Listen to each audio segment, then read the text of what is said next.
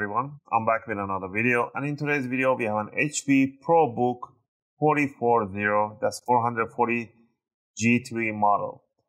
And in this video I'm gonna go over how you can open it up and how you can add or remove the RAM that you have in here. I made a really short video, I'll leave that link in the video description so you can check your maximum RAM capacity for your laptop in this laptop, we have upgraded to an uh, 16 gig with no problem. I don't see any reason why you want to go over 16 gigs, so you can put two 8 gigs with no problems. And by upgrading the RAM, you're not gonna do any modification, or you don't need to do any other configuration in the Windows. It's just plug and play. I'm gonna go on step by step how to do this process. Just make sure that you power off the laptop. Do not put on a suspended mode or anything like that, hibernation. Just put it uh, shut down power it off, and then you want to flip it upside down.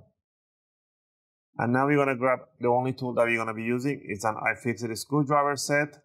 And we're going to use the Phillips number 1 or number 0 from this tool set.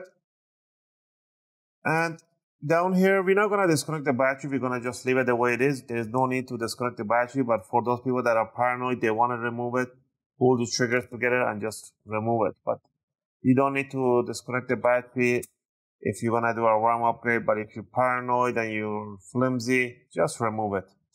After that, we need to remove this service cover that is being held down by one screw only. This screw has a little C-lock on the other side and there's a little spring right underneath.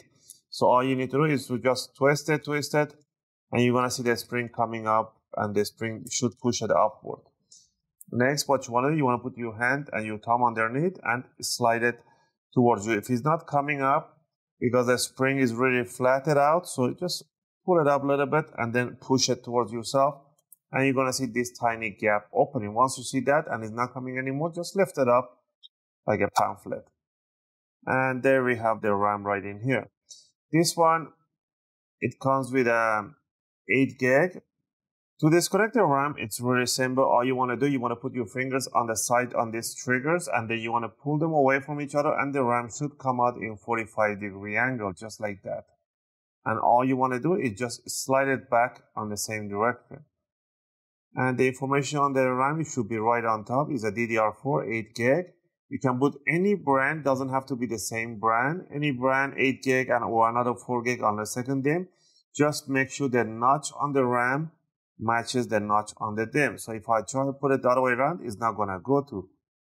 So I'm just going to rotate the other way around actually.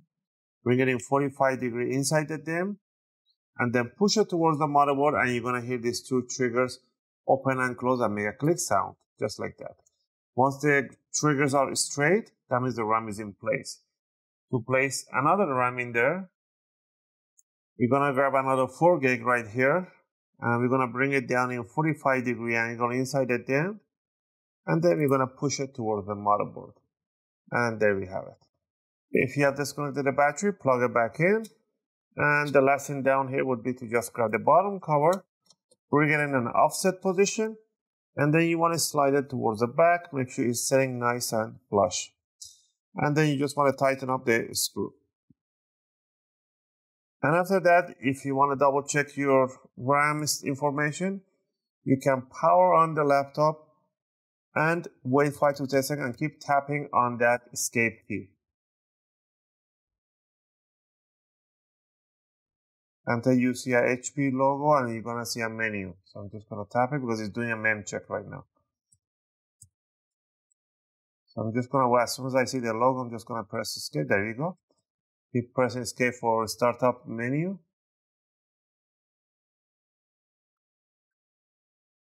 I hold that too much. And now we can go to F10 or BIOS setup. And then we can go on the system information.